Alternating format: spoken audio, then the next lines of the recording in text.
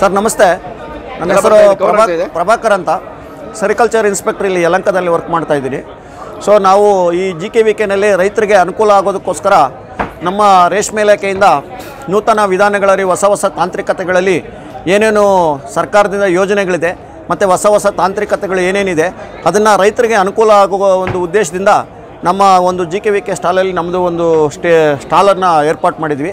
ಇದರಲ್ಲಿ ಎಲ್ಲ ಹಂತದ ಹುಳ ಮತ್ತು ಏನು ರೇಷ್ಮೆ ಇಲಾಖೆಯಿಂದ ರೈತರಿಗೆ ದೊರೆತಕ್ಕಂಥ ಸವಲತ್ತುಗಳ ಬಗ್ಗೆ ಸಹ ಮತ್ತು ಹೊಸ ಹೊಸ ತಂತ್ರಜ್ಞಾನಗಳಲ್ಲಿ ಯಾವ ರೀತಿ ಹುಳು ಸಾಕಾಣಿಕೆ ಮಾಡಬೇಕು, ಹೊಸ ವಿಧಾನಗಳಲ್ಲಿ ವಿಪ್ನೇಳೆ ತೋ, ಸೊಪ್ಪು ಬೆಳೆಸಬೇಕು ಅನ್ನೋದ್ರ ಬಗ್ಗೆ ನಾವು ಮಾದರಿಗಳನ್ನು ಇಲ್ಲಿ ಜಿ ಕೆ ವಿ ಕೆ ಸ್ಟಾಲಲ್ಲಿ ಏರ್ಪಡಿಸಿದ್ವಿ. ಮತ್ತು ಹುಳು ಚಾಕಿಯಿಂದ, ಮೊಟ್ಟೆಯಿಂದ, ಹುಳು ಹಣ್ಣಾಗುವಂಥದ್ರವರೆಗೂ ಎಲ್ಲ ಹಂತದ ಹುಳನ ಸಹ ನಾವು ಪ್ರದರ್ಶನಕ್ಕೆ ಇದು ಮಾಡಿದ್ವಿ. ಮತ್ತು ಸರ್ಕಾರದಿಂದ ದೊರೆತಕ್ಕಂಥ ಸವಲತ್ತುಗಳ ಒಂದು ಬ್ರೋಚರ್ಗಳನ್ನ ಸಹ ಇಲ್ಲಿ ಬರ್ತಕ್ಕಂಥ ರೈತರಿಗೆ ಮತ್ತು ಸ್ಟೂಡೆಂಟ್ಸ್ಗೆ ಅನುಕೂಲ ಆಗೋದಕ್ಕೆ ವ್ಯವಸ್ಥೆ ಮಾಡಿದ್ದೀವಿ. ಇಲ್ಲಿ ಪ್ರತಿ ಮತ್ತು ರೇಷ್ಮೆ ಇದರಲ್ಲಿ ಉಪ ಉತ್ಪನ್ನಗಳು ಚಿಟ್ಟೆ ಕೊರೆದ ಗೂಡುಗಳಿಂದ ಏನು ರೇಷ್ಮೆ ಗೂಡುಗಳನ್ನು ತಯಾರು ಮಾಡೋ ವಿಧಾನಗಳಾಗಬಹುದು. ಮತ್ತು ಇದು ಬೈ ಪ್ರಾಡಕ್ಟಾಗಿ ಯಾವುದು ಬಿಸಾಕದೆ ಏನು ಮಹಿಳೆಯರಿಗೋಸ್ಕರ ಏನು ಚೈನ್ ಎಲ್ಲ ಮಾಡ್ಬೋದು, ನೆಕ್ಲೆಸ್ ಮಾಡ್ಬೋದು, ಉಪ ಉತ್ಪನ್ನಗಳು. ಅದನ್ನು ಸಹ ನಾವು ಇಲ್ಲಿ ಪ್ರದರ್ಶನಕ್ಕೆ ಇಟ್ಟಿದ್ದೀವಿ. ಹಾಗಾಗಿ ರೇಷ್ಮೆ ಗೂಡಿನಿಂದ ಏನು ಹಾರಗಳನ್ನು ತಯಾರು ಮಾಡಿರ್ತಕ್ಕಂಥ ಹಾರಗಳನ್ನ ಸಹ ನಾವು ಪ್ರದರ್ಶನಕ್ಕೆ ಇಟ್ಟಿದ್ದೀವಿ. ಇದು ಚಂದ್ರಿಕೆಯಲ್ಲಿ ಗೂಡು ಕಟ್ತಕ್ಕಂಥ ಹುಳನೂ ಸಹ ಇಟ್ಟಿದ್ದೀವಿ.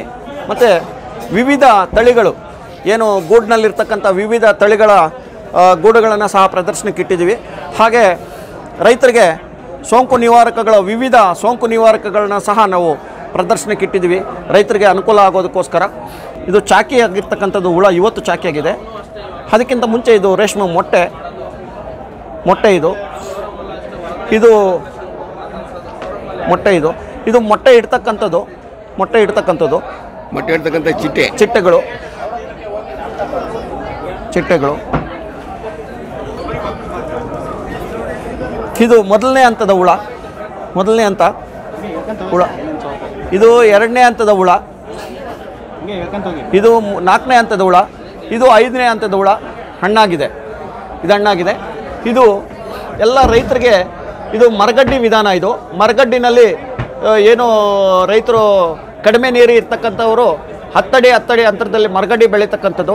ಇದು ನರ್ಸರಿ ಬೆಳೀತಕ್ಕಂಥದ್ದು. ನರ್ಸರಿ ಬೆಳೆಯೋದಕ್ಕೆ ಏನೇನು ಯಾವ ಥರ ಮಾಡಬೇಕು ಅನ್ನೋದ್ರ ಬಗ್ಗೆ. ಮತ್ತು ಇದು ರೈತರು ಹುಳು ಸಾಕಾಣಿಕೆ ಮನೆ, ಹುಳು ಸಾಕಾಣಿಕೆ ಮನೆ ಯಾವ ಥರ ಮಾಡ್ಬೋದು ಅಂತ ಮತ್ತು ಇದು ಒಂದು ಚಾರ್ಟಲ್ಲಿ ನಮ್ಮದು ಎಲ್ಲ ನಮ್ಮ ಇಲಾಖೆಯಲ್ಲಿ ಏನೇನಿದೆ ಆಕ್ಟಿವಿಟೀಸು ಎಲ್ಲನೂ ಈ ಚಾರ್ಟಲ್ಲಿ ನಾವು ಡಿಸ್ಪ್ಲೇ ಮಾಡಿದ್ವಿ. ಮತ್ತು ಅಲ್ಲಿ ನೋಡಿ ರೀಲಿಂಗ್ ಆಕ್ಟಿವಿಟೀಸು ರೀಲಿಂಗ್ ಮಾಡ್ತಕ್ಕಂಥದ್ದು ನಮ್ಮ ರೈತರು, ಮತ್ತು ಇ ಆಕ್ಷನ್ನು ನಮ್ಮಲ್ಲಿ ಈಗ ರೈತರು ಇ ಆಕ್ಷನ್ ಮುಖಾಂತರ ಮಾರ್ಕೆಟಲ್ಲಿ ಇ ಆಕ್ಷನ್ ಪದ್ಧತಿ ಬಂದಿದೆ, ಅದು ಬಂದಿದೆ. ಈಗ ರೋಟ್ರಿ ಮೌಂಟೇಜಸ್ ಅಂತ. ರೋಟ್ರಿ ಮೌಂಟೇಜಸ್ ಅಂತ ಇದು ಬಂದಿದೆ, ಇದನ್ನು ಹಾಕಿದ್ವಿ. ಮತ್ತು ನಮ್ಮ ತಲಗಟ್ಪುರದವರು ಹೊಸದಾಗಿ ಒಂದು ಒಂದು ಆ್ಯಪ್ ಡೆವಲಪ್ ಮಾಡಿದ್ದಾರೆ. ಅದು ಸ್ಕ್ಯಾನ್ ಮಾಡಿಕೊಂಡು ಒಂದು ಮಿಸ್ ಕಾಲ್ ಮಾಡಿದ್ರೆ ತಲಗಟ್ಪುರ ವಿಜ್ಞಾನಿಗಳು ರೈತರಿಗೆ ಏನು ತೊಂದರೆ ಇದೆ, ಅದಕ್ಕೆ ಏನು ಔಷಧಿ ಸಿಂಪಡಿಸ್ಬೇಕು ಅನ್ನೋದ್ರು ಒಂದು ಮಾಹಿತಿಯನ್ನು ಕೊಟ್ಟಿದ್ದಾರೆ ಸರ್. ಅದನ್ನು ಸಹ ಡಿಸ್ಪ್ಲೇ ಮಾಡಿದ್ವಿ. ಮಾದರಿ ಹುಳು ಸಾಕಾಣಿಕೆ ಮನೆ.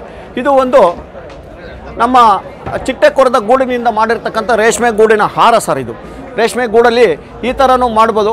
ಸುಮಾರು ಇದು ನಾಲ್ಕರಿಂದ ಐದು ಸಾವಿರ ರೂಪಾಯಿ ಬೆಲೆ ಬಾಳುತ್ತೆ. ಇದರಲ್ಲಿ ಹೆಚ್ಚಿಗೆ ರಾಮನಗರದಲ್ಲಿ ರೈತರಿಗೆ, ಮಹಿಳೆಯರಿಗೆ ತರಬೇತಿ ಕೊಟ್ಟು ನಮ್ಮ ತರಬೇತಿ ಶಾಲೆಯಲ್ಲಿ ಇದನ್ನು ರೇಷ್ಮೆ ಗೂಡಲ್ಲಿ ದೊಡ್ಡ ದೊಡ್ಡ ವಿ ಐ ಪಿಗಳಿಗೆಲ್ಲ ತೋರಿಸ್ತೀವಿ. ಮತ್ತು ಇದು ಒಂದು ನೋಡಿ ಸರ್, ಇದು ಮರಗಡ್ಡಿ ಅಂತ. ಈ ಥರ ಈ ಮರಗಡ್ಡಿ ಅಂತ. ಇದು ಒಂದು ಎಕರೆಗೆ ನನ್ನೂರು ಗಿಡ ಬೀಳುತ್ತೆ. ಹತ್ತಡಿ ಇಂಟು ಹತ್ತಡಿ ಅಂತರದಲ್ಲಿ ಮರಗಡ್ಡಿ ಮಾಡಿದ್ವಿ ಇದು ಸಹ ಮರಗಡ್ಡಿನಲ್ಲಿ ಉತ್ತಮ ಗುಣಮಟ್ಟದ ಸೊಪ್ಪು ಬರುತ್ತೆ. ಅದಕ್ಕೋಸ್ಕರ ಮರಗಡ್ಡಿ. ಮತ್ತು ಪ್ರಥಮವಾಗಿ ಈಗ ಉದ್ಯೋಗ ಖಾತ್ರಿ ಯೋಜನೆಯಲ್ಲಿ ಹೊಸ ನಾಟಿ ಮಾಡಿದ್ರೆ ಒಂದು ಎಕರೆಗೆ ಸುಮಾರು ನಲವತ್ತು ಸಾವಿರ ರೂಪಾಯಿ ಅವರಿಗೆ ರೈತರಿಗೆ ಕೂಲಿ ವೆಚ್ಚ, ಮತ್ತು ಸ, ಏನು ಸಲಕರಣೆ ವೆಚ್ಚ ಸೇರಿ ಒಂದು ಎಕರೆಗೆ ಸುಮಾರು ಎಪ್ಪತ್ತು ಸಾವಿರ ರೂಪಾಯಿ ಅವರಿಗೆ ಮೊದಲನೇ ವರ್ಷ. ಹನಿ ನೀರಾವರಿಗೆ ಒಂದು ಎಕರೆಗೆ ಸುಮಾರು ನಲವತ್ತೈದು ಸಾವಿರ ರೂಪಾಯಿ ಸಹಾಯಧನ ಸಿಕ್ಕುತ್ತೆ. ಅದೇ ರೀತಿ ಹುಳು ಸಾಕಾಣಿಕೆ ಮನೆಗೆ ವಿವಿಧ ಹಂತಗಳಲ್ಲಿ ಗರಿಷ್ಠ ಸಾಮಾನ್ಯ ವರ್ಗದವ್ರಿಗೆ ಮೂರು ಲಕ್ಷದವರೆಗೂ ಸಹಾಯಧನ ಸಿಕ್ಕುತ್ತೆ.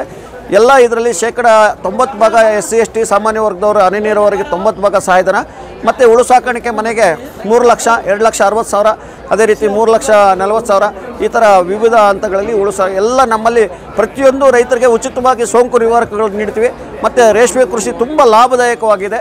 ಕಡಿಮೆ ಖರ್ಚು, ಕಡಿಮೆ ನೀರು, ಮತ್ತು ಕಡಿಮೆ ಶ್ರಮ ಉಪಯೋಗಿಸಿ, ಮತ್ತು ಕೇವಲ ಇಪ್ಪತ್ತು ದಿನದಲ್ಲಿ ಗೂಡು ಹಾಗೆ ಮಾರುಕಟ್ಟೆ ವ್ಯವಸ್ಥೆನೂ ತುಂಬ ಆಗಿದೆ, ತುಂಬ ಚೆನ್ನಾಗಿದೆ.